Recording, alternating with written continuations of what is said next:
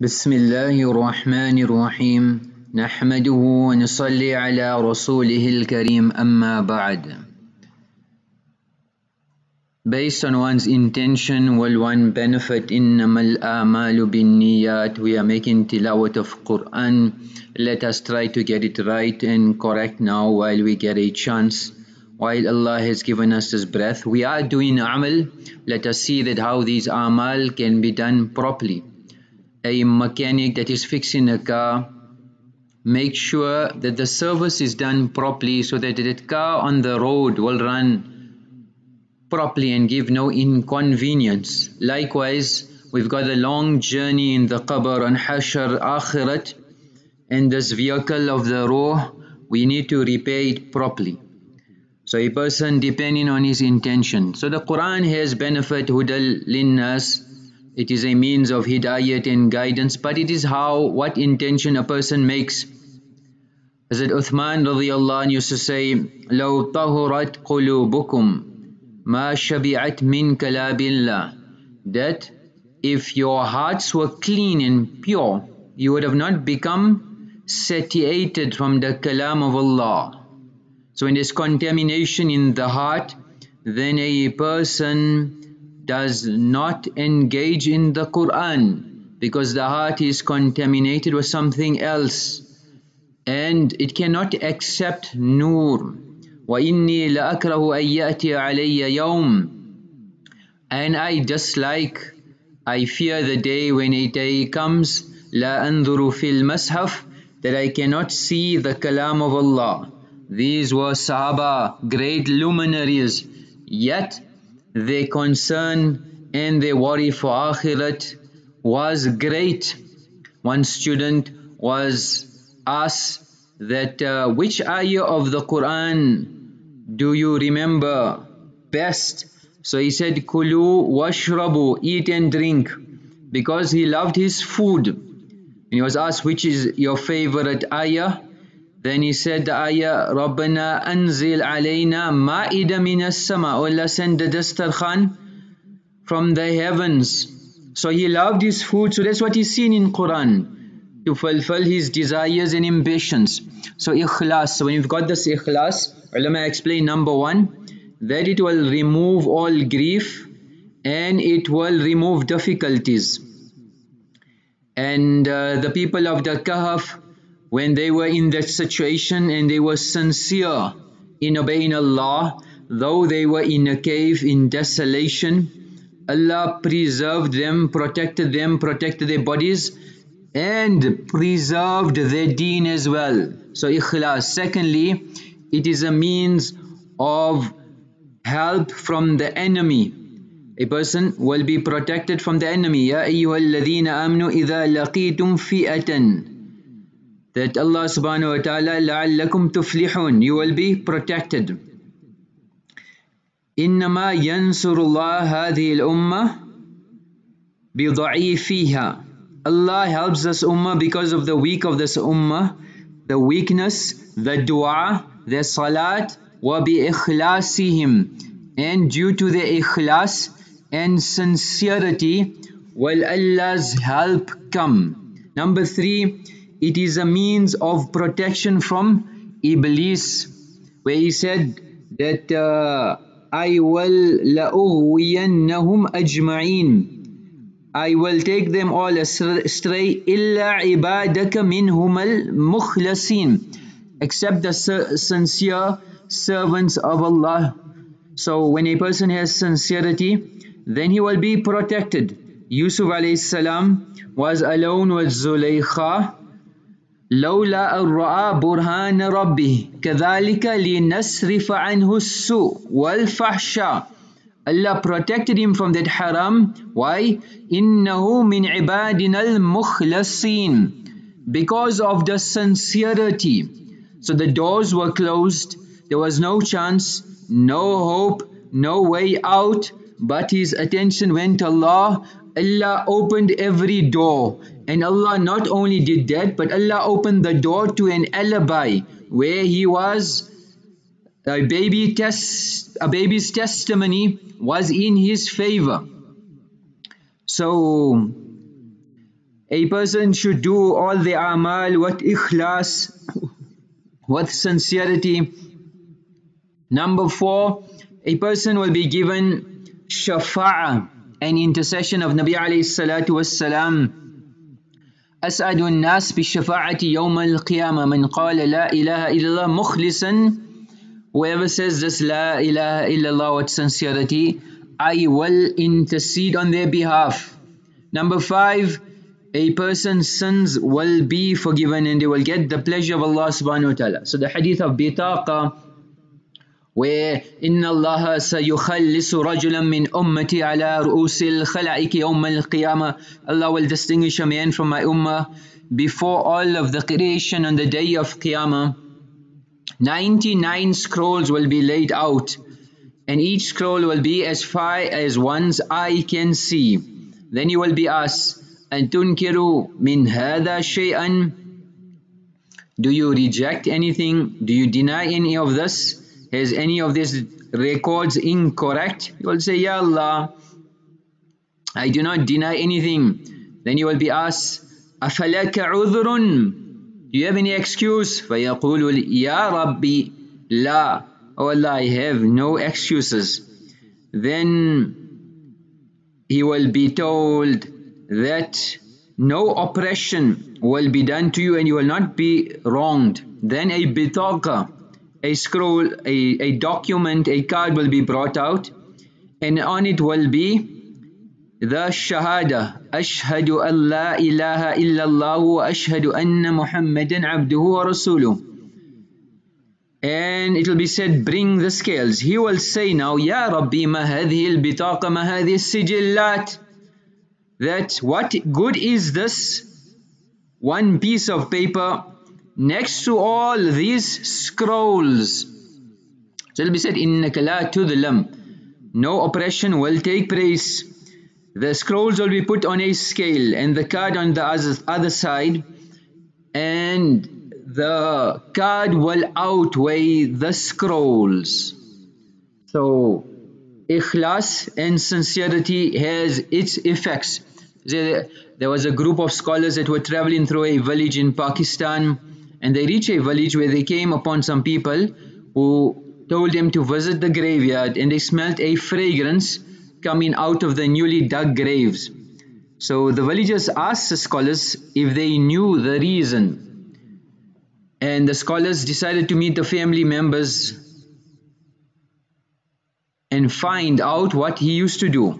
And they discovered that he did not know how to read the Quran at all. Otherwise, after Fajr Salat, he would just sit with the Quran, put his fingers on the verses and say, My Allah has spoken the truth. Yeah. Put his finger on every ayat, My Allah has spoken the truth. Sadaqa Rabbi, my Allah has spoken the truth. And the ulama said that this one deed was the cause of that fragrance emanating from his qabr. So intention, and we said intention of taqwa and uh, when reciting Quran, number four benefit of taqwa. Ayyuhalladhina amanu taqullaha wa aminu bi rasuli yu'tikum kiflayn min rahmatih. That a person who has taqwa, he will get twice twofold reward uh, in the mercy of Allah subhanahu wa ta'ala. So Allah's mercy will be double fold. And uh, this is with regards where Nabi alayhi salam said that the Muslims, the Mu'mineen, the Yahud, the Jews and the Christians is like a person who took up employment and he was told you will be paid so much and from the early morning till midday he worked. Then he said, La fi ajrika alladhi The amount you told us is no need for, for us. So then they will be told, La taf'alu Just work a little bit and you'll get the full reward.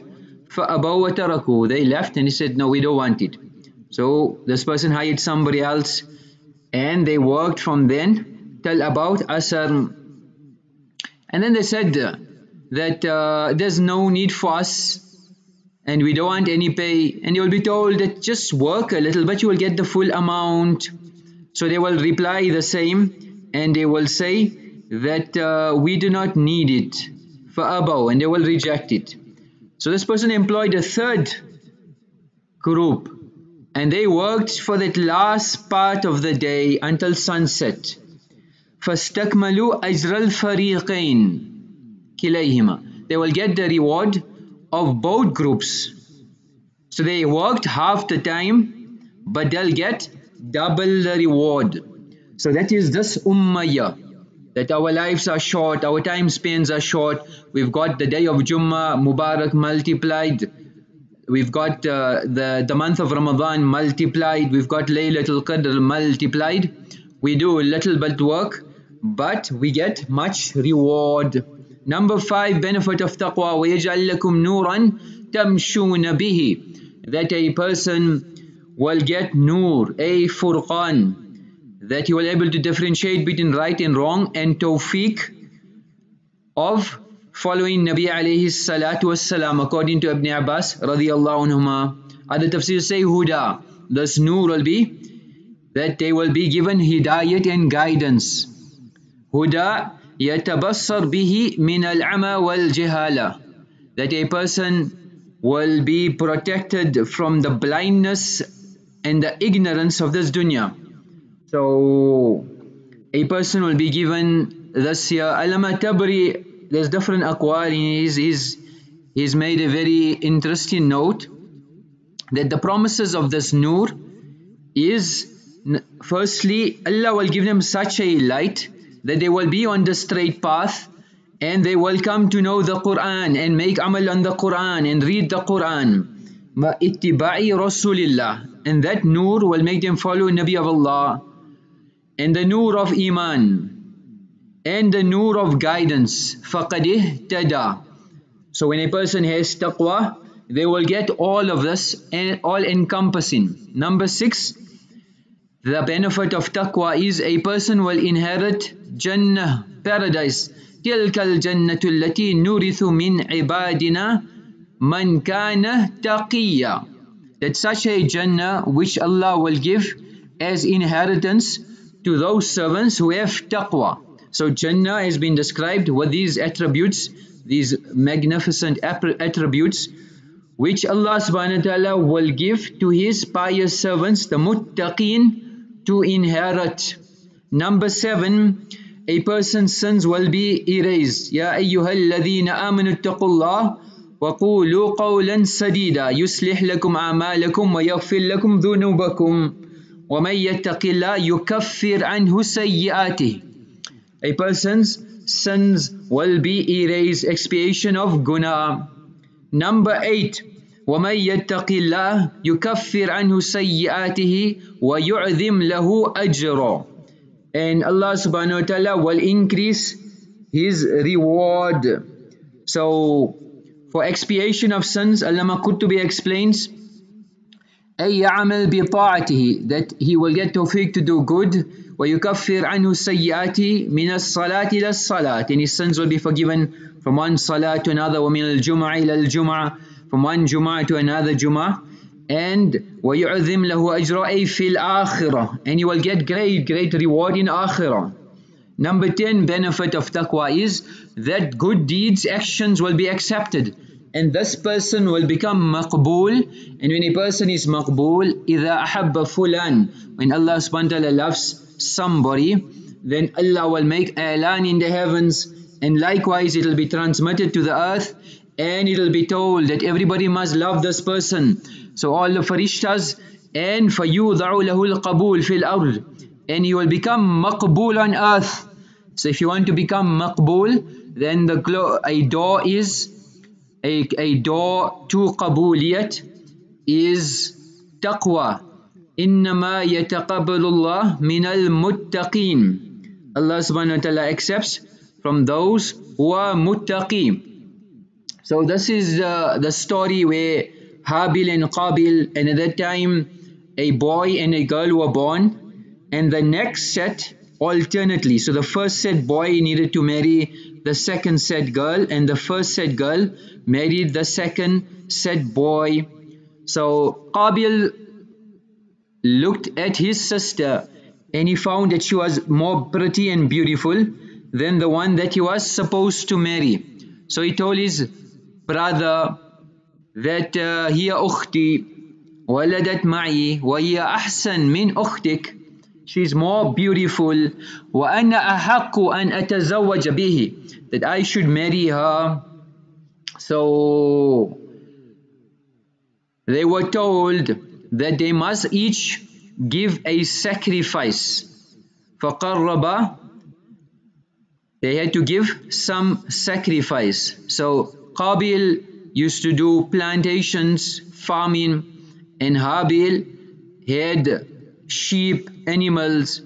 So Habil brought the best sheep the most excellent quality the the biggest in size the most beloved to him as the uh, as qurbani sacrifice. And Qabil brought lower grade inferior quality crops. And they were told to place it as a sacrifice.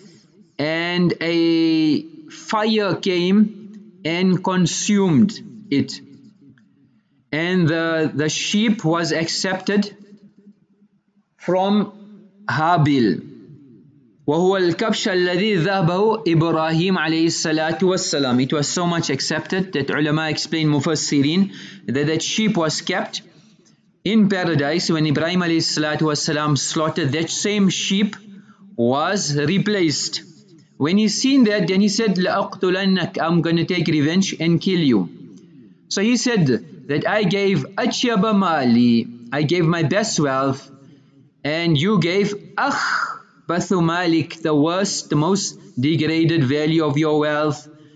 And inna Allah, Allah subhanahu wa ta'ala does not accept except the best. And Allah accepts from the muttaqeen. So he became very upset and he said, I'm going to kill you. So he told him, he said, أين أنت من Allah? Where will be where will you be with regards to Allah? Where will your amal take you? And he warned him but he never take heed and he killed him so taqwa is very important firstly he never protected his gaze so that was the first cause so when a person doesn't protect their gazes then that can be a great cause for destruction. Nowadays from the internet different forms different platforms a person compromises their taqwa and they are compromising their benefits in dunya and akhirat as well. And it was over a female. So sometimes we presume we are in love we get caught in the trap and that is a means of destruction so many are unmarried many are married many different people in different situations get caught.